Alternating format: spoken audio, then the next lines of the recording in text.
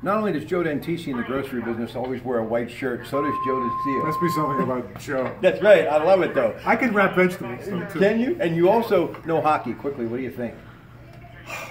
I don't know. I was a little surprised. I was thinking it was going to be Fleury, but uh, Why it's Murray? tonight? Just to mix it up a little bit. Well, you got to go with what Sullivan probably sees and what he knows that we don't know.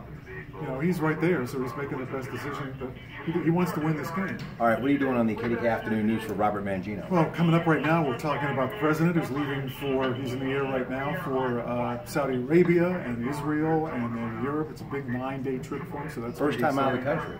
First time out of the country, and he goes to Saudi Arabia for his first uh, first country. So that's kind of a little different. It's kind of interesting. Um, we just talked about the summer forecast for uh, the Pittsburgh area, what it's going to be like. Not as hot as uh, last year here, but still hot. It's summer, and, and a lot more. So no excuse to say the heat will keep you away from Kennywood. It's still another Joe, as in Cowboy Joe. You know the guy you greet when you come in, you take a picture. You ever done that? No. Oh man, you're missing out. Joe has done it, haven't you, Joe Cop? Yes, you have.